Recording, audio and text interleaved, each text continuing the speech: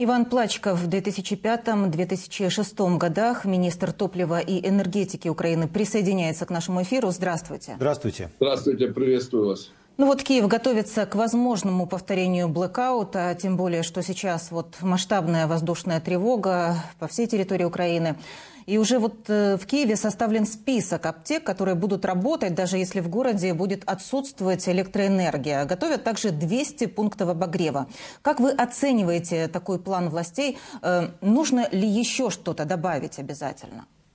А, ну, это э, абсолютно правильно и абсолютно необходимо. И это актуально не только для Киева, это актуально практически для всех населенных пунктов.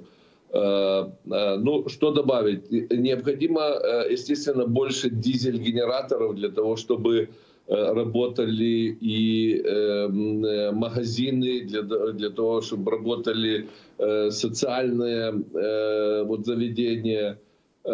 И, и, а, и абсолютно необходимо подготовиться к тому, что возможно отсутствие э, тепла, отсутствие теплоносителя, прекращение циркуляции, для того, чтобы э, можно было, нужно немедленно при минусовых температурах слить воду э, с систем тепловода и водоснабжения и горячего водоснабжения для того, чтобы сохранить эти системы, трубы для того, чтобы они не перемерзли, чтобы они не полопались, для того, чтобы потом можно было э, эту циркуляцию возобновить. Должен быть у каждого здания, у каждого здания должен, должен быть ответственный человек, который знает схему, где закрывается э, э, подача воды и где воздушники для того, чтобы это сдренировать, и где дренажи.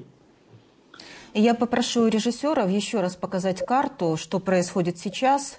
Да, вот мы видим, что насколько масштабная воздушная тревога. Черниговская, Киевская, Житомирская, Винницкая, Кировоградская, Полтавская, Сумская, Харьковская, Днепропетровская, Запорожская, Донецкая и Луганская области в зоне опасности. А что людям э, вот необходимо сделать? Да? Э, зарядить гаджеты, сделать запас воды. Напомните еще раз, пожалуйста.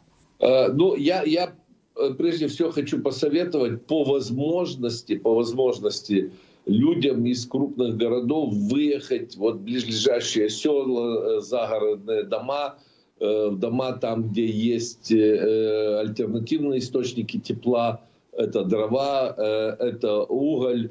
Что касается вот в городе, что ну, гаджеты, Э, теплая одежда, запас воды, запас еды. Э, и э, ну, надо, надо, надо быть готовым к тому, что отключение электроэнергии и тепла он ну, может быть и на достаточно длительный срок, это неделя и две. Но я уверен и надеюсь о том, что больше таких массированных ударов по энергетической структуре не будет. И если будет, то э, наши славные вооруженные силы, противовоздушная оборона, противоракетная оборона, усилили охрану инфраструктурных объектов, непосредственно э, генерирующих мощностей.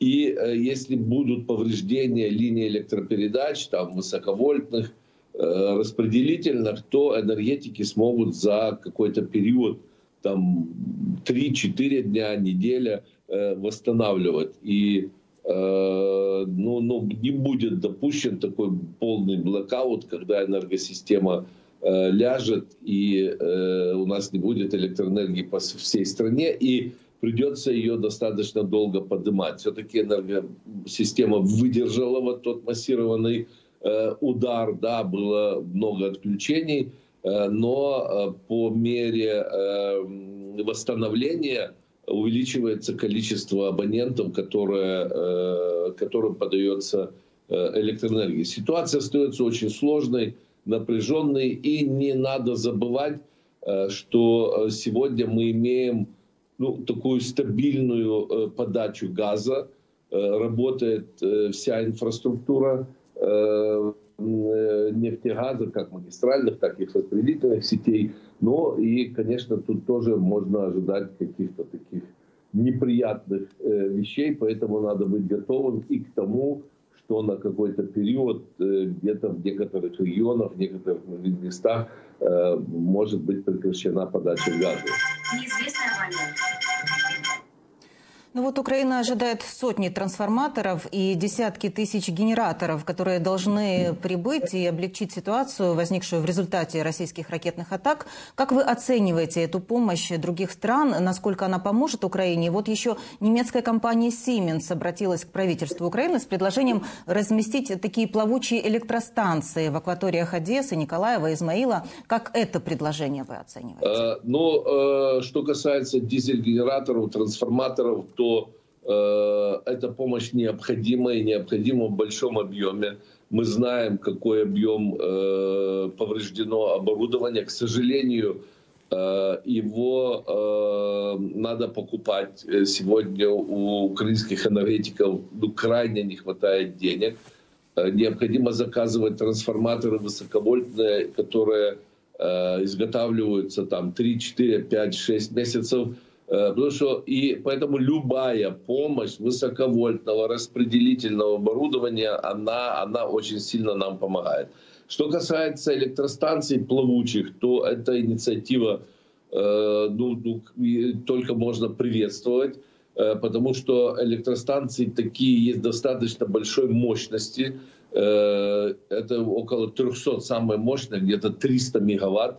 Э, например, три таких станции могут обеспечить ну, миллионный город, такой город, как Одесса, ну, практически полностью э, электроэнергией. Э, я знаю, что такую инициативу и проявила Турция, которая тоже предлагает послать плавучую электростанцию. Но еще есть так называемые энергетические поезда, которые тоже стоят, генерирующие установки, большой мощности, там до 50 э, мегаватт, э, я думаю, что мы можем э, использовать и энергетические поезда, особенно в западных регионах нашей страны. Если мы говорим Одесса, Измаил, думаю, что при, если будет обеспечена безопасность, это может быть и Николаев, может быть и Херсон по мере обеспечения безопасности вот, акваторий вот в районе этих городов ну, это, это будет достаточно существенная помощь э, вот, украинским энергетикам по стабилизации ситуации. Вот вражескими обстрелами украинской инфраструктуры управляет профессиональный энергетик, который прекрасно понимает, куда именно должен наноситься удар, чтобы он был максимально серьезным для Украины. Вот э, это такое заявление сделал экс-глава Укрэнерго Юрий Касич. Э, а российские военные являются всего лишь исполнителями преступного приказа, ну и преступниками в том числе. Вы согласны с такой версией? Э, знаете, э, наша энергосистема создавалась еще в советское время. Э, это была единая энергосистема Советского Союза, в том числе и социалистических стран.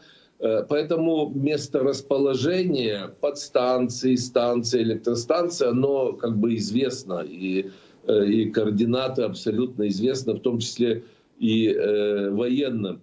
Конечно, э, энергетики, я думаю, там не один энергетик, там группа энергетиков, э, которые анализируют текущую ситуацию, находят самые болевые точки и координируют э, вот работу уже вражеских вот войск, координируют вот эти ракетные удары. Я думаю, что даются консультации по тому, как усложнить ситуацию по теплоснабжению, особенно в крупных городах. Мы помним, первые удары были по Харьковской ТЭЦ, э, по э, киевским, по, по, по киевским ТЭЦам. Поэтому это, это абсолютно правильно. И без участия энергетиков, которые консультируют, анализируют текущую ситуацию, там не обходится.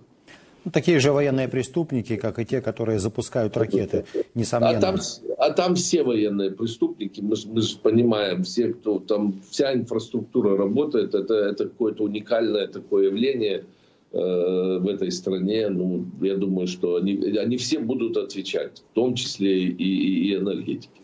Но тем временем ЕС установил предельную цену на нефть из России на уровне 60 долларов за баррель. Это должно заработать от сегодняшнего дня. Глава Европейской комиссии Урсула фон дер Ляйен заявила, что это значительно сократит доходы России. Как вы оцениваете вот этот шаг ЕС? Вот, кстати, Польша и страны Балтии, они предлагали более жесткие меры, до 30 долларов. И там уверены, что мир к этому вскоре и вернется. Как вы считаете? Э, ну, 25-30 долларов – это себестоимость. И, э, конечно, если бы прайс-кэпы были на этом уровне, то э, вот, не то что значительно, практически о доходах от продажи нефти не могло быть и, и речи. Это, это был бы очень серьезный экономический удар по э, России. Но мы видим Евросоюз, видите, как он постепенно, поэтапно э, ну, ну, решил не, не, не, не делать таких резких Э, движений, но я почему-то думаю, что это первый этап. Я думаю, через какое-то время а, а, эти цифры, э, этот потолок будет пересмотрен, и цены будут снижаться. Что это сегодня даст?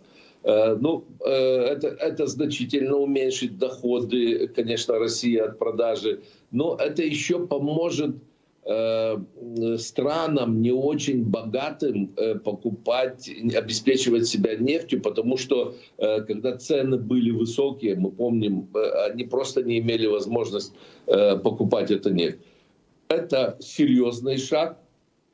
Это Россия понесет экономические потери, но, но это, это недостаточно. Я, и, и они получат прибыль. Эта прибыль оценивается в районе 100 миллиардов долларов Э, долларов, э, то, что это, это достаточно серьезное средство, которое Россия может и будет направлять на продолжение войны. Ну вот я помню цифру сентябрьскую, мне кажется, там было больше 15 миллиардов получено России только за один месяц. Да, да, да. Но я говорю в разрезе года. Газета Financial Times пишет, что Россия создает э, теневой флот из танкеров для перевозки своей нефти в обход санкций. Вот как вы это можете прокомментировать? Получится ли у них это? Они, они уже его создали, просто в не э, большом объеме. И мы знаем, э, что нефть находится э, схемы, когда э, привлекаются там третьи страны, она перед, э, нефть перепродается э, несколько раз. Э, этому помогали в первое время такие страны, как Индия, как Китай, э, страны третьего мира. Но э, у э, Евросоюза, у Соединенных Штатов есть очень серьезные э, механизмы э, контроля, э, влияния, и, и у них есть возможность свести этот объем, чтобы он не был большим. И я думаю, что эта работа будет вестись, и те компании, те страны, которые будут нарушать, к ним э, будет, будут применены определенные санкции. Я уверен, что Россия не сможет развернуть э, такой большой объем э, флота э, для того, чтобы э, вот помимо э, официальных объемов продавала значительные объемы э, нефти. Э, этого не допустят.